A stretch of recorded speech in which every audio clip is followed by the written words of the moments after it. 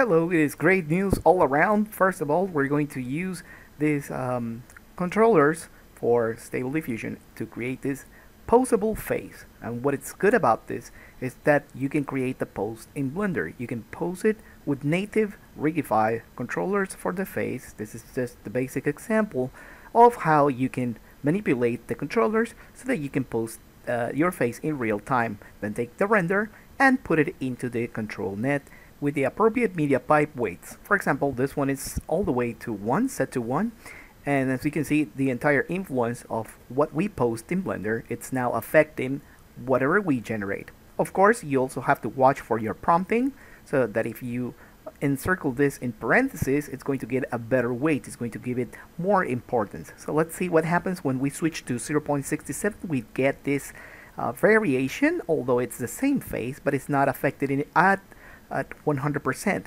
Now if we switch this to 0.85%, you can get different results such as this. Please notice that we're getting the right face angle plus the eye direction. So let's get into this.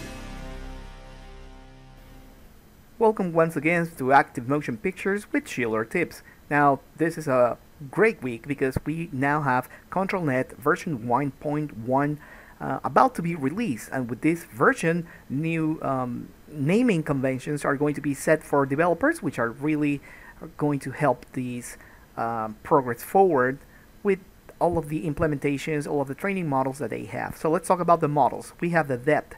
As a 3D user, and I'm aiming and directing everything I'm saying to 3D users.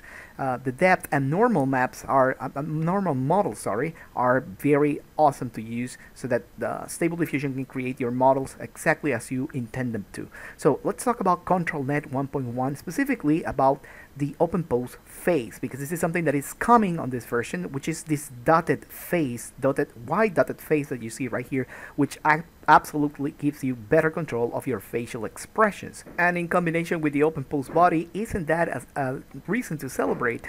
Look at those fireworks on the background. Anyways, so we see that we can even pose many different faces and the model will still recognize them. Another good thing for artists is this line art. You can draw, literally draw whatever you want and then ask Stable Diffusion to represent your drawing. But the ControlNet anime line art, it's what blows our mind because this is literally taking your drawing, your black and white drawing lines, and converting them to any kind of a style or a model or LoRA that you have previously either trained or downloaded for your convenience. You can also put image colors and it, they will be translated to black and white images. There's all over uh, good news and the ControlNet Inpaint natively finally it's going to come um, with better options to, to fade uh, from the edges and other useful, really useful things. This is just amazing. Please check out the links in the comment section below. Now let's get started with this video. First of all, I will not be showing you how to install the MediaPipe face. That is uh, something that Olivio Sar Sarikas has shown already. So after you complete that video, you come back here and then you're going to feed the image that you generate with Blender. And with this, uh, we're going to activate the uh, Control Media Pipe Face version 1, uh, version 2, sorry, for Stable Diffusion 1.5. Okay, so I'm going to give the image its regular size 512 by 786 and then I'm just going to ask for a simple prompt like woman with red hair in Paris. So as you can see right here this is an anime model I'm using and it generates an animal uh, I'm sorry anime style. Okay? And um, from here we can tell it to enable and let's see how much difference it makes whenever we're feeding a facial post model for this kind of things. So you can see that the um, cores are working there and once it generates it we can see the anime style face posed exactly like our model in Blender. But Mr. Schiller, can I do this with Blender? Sure you can. I created a quick prototype using Rigify tools, obviously natively in Blender, with all of the advantages that this has specifically to render out animations using this posable model. If you move the controllers for the eyes, you will see a direct response, and the same thing goes for the mouth. Please bear in mind that the inner circle of the mouth will always intersect with other sections, but just be aware that if you avoid them, then you will get better results. So this is just a, a smooch pose, let's call it that way, and let's move some of the uh, eyebrows. Now let's render or just take a screenshot with the dimensions that we previously mentioned before, uh, 512 by 768. And now I'm going to be prompting a simple thing so that you can see it. So this face is looking the other way, okay? It's totally contrary with the one that we have right here. So let's generate one, but using our weight in the media pipe face all the way set to 1 and this is the result. Uh, also I switch uh, models uh, to generate this new anime character and she looks just amazing. Yeah, another firework there. this is just amazing.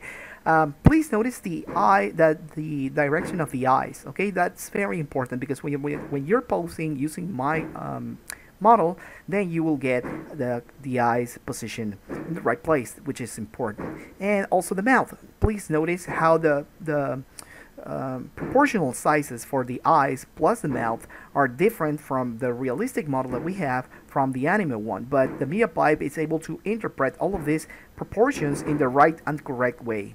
Yeah, that's a more reason to celebrate. Sorry about the fireworks. Uh, 0.35 will give us some result like this. So it is not totally adjusted to, to follow whatever we said with our face, but it's rather giving it a freedom to use, you know, uh, its own thing. Also, I lower down the CFG scale uh, down to 5. Now let's switch to 0.87 and let's see what we, what we get. So this result is looking pretty amazing. Now this is looking more natural. Please notice that the eyebrows are not following entirely the face, but it is great. So the conclusion, please um, be aware that ControlNet 1.1 is coming out with new models and please follow the Olivio's install tutorial to get this media pipe face, okay? Those are two different facial models that you can use for your work. And also for the people that already have gotten the Rigify model for Stable Diffusion ControlNet posable rig that I created, please don't forget to rate it 5 stars. Some people downloaded and still use uh, Blender 3.1 and then down downgraded it, but you're using 3.5 as of now, which is the stable release of Blender, and then you can post this. So everyone who previously got this model will be getting the free upgrade for the facial controls, and everyone that is coming uh, to this video for the first time, please be aware that the uh, upgraded model will be uploaded in the next hours and in the next days okay? So be aware that you're going to get this inside the full rig. And also please don't forget to check out our community tab to to know more about the current projects we're working on for all of the following months. Thank you very much for your support and don't forget to subscribe give a like to this video comment please share it because it's really important for the channel to keep growing as a healthy blender 3d community and also visual tools such as Stable Diffusion. Thank you so much. My name is Spirit Schiller. I am a 3D animator and VFX compositor. Let me ask you something. Have you tried Blender? Try Blender. Blender is powerful and beyond artistry compatible.